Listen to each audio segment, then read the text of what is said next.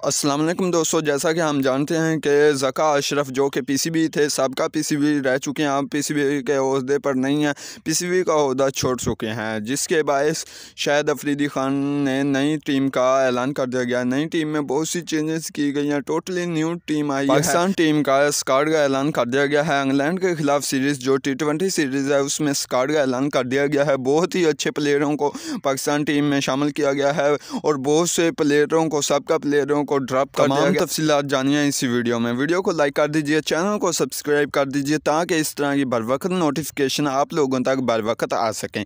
तो वीडियो को स्टार्ट करते हैं। शायद अफरीदी ने कौन कौन से खिलाड़ियों को पिक किया है जो इंग्लैंड के खिलाफ सीरीज़ हैं उसमें पहले नंबर पर आते हैं। पाकिस्तानी कैप्टन पाकिस्तानी कैप्टन सबका कैप्टन रह चुके हैं बाबर आज़म किंग। बाबर आज़म दूसरे नंबर पर पाकिस्तान के हार्ड हीटर लेफ़्ट हैंड बल्लेबाज फ़खर जमान तीसरे नंबर पर साइम यूब पाकिस्तान के यंग टैलेंट बैट्समैन चौथे नंबर पर चेंजेस की गई हैं मोहम्मद हारिस। मोहम्मद हारिस को जैसे कि हम जानते हैं कि ऑस्ट्रेलिया के खिलाफ टेस्ट सीरीज़ थी उसमें भी नहीं डाला गया था। न्यूजीलैंड के टी ट्वेंटी सीरीज़ थी उसमें भी नहीं डाला गया। अब लेकिन इंग्लैंड के खिलाफ डाला गया है। पाँचवें नंबर पर पाकिस्तान के एक और young talented junior batsman right hand batsman हैं तैयब ताहिर। तैयब ताहिर को डाला गया है। छठे नंबर पर Pakistan young talented fast bowler Naseem Shah. Naseem Shah की पाकिस्तान टीम में वापसी हो चुकी है। नसीम शाह इस वक्त बिल्कुल फिट है। नसीम शाह इंग्लैंड के खिलाफ सीरीज़ में खेलेंगे। नंबर पर शदाब खान की वापसी हुई है। शदाब खान को पिछले कुछ गुज्त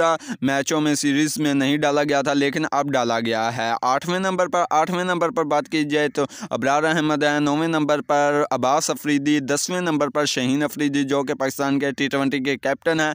ग्यारहवें नंबर पर बात की जाए तो मोहम्मद वसीम जूनियर। बारहवें नंबर पर जमान खान। तेरहवें नंबर पर मोहम्मद रिजवान चौदहवें नंबर पर बात की जाए तो अब्दुल्ला शफीक हैं। पंद्रहवें नंबर पर आप लोगों को बताते चलें। हारिस रऊफ़ हैं। पंद्रहवें नंबर पर हारिस रऊफ़ हैं और सोलहवें नंबर पर लास्ट नंबर पर मोहम्मद नवाज़ का नाम आता है। यह पाकिस्तान टीम का स्काड है जो इंग्लैंड के खिलाफ मैदान में उतरेगा। वीडियो अच्छी लगी वीडियो को लाइक कर दीजिए, चैनल को सब्सक्राइब कर दीजिए ताकि इस तरह की बर वक्त नोटिफिकेशन आप लोगों तक बर वक्त आ सकें। तो वीडियो को एंड करते हैं।